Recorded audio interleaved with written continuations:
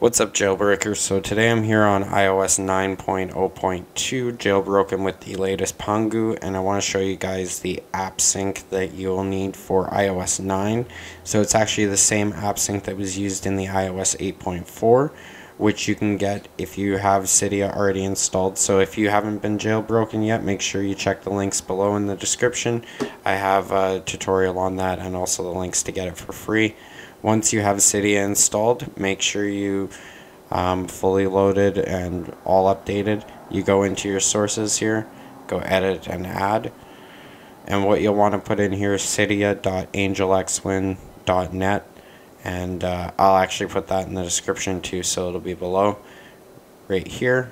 And then all you do is you just search for the app edit or AppSync sorry.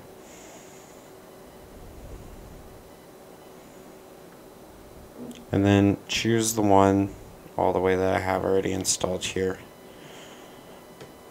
If you have multiple repos make sure that you install the one that's from uh, the AngelXwind's repo which you'll see actually as a description like this so that's all you guys need um, you'll be able to use applications like AppCake and App Addict uh, a lot more safe than using like the PP sync so thanks for watching. Make sure you rate um, this video by giving it a thumbs up.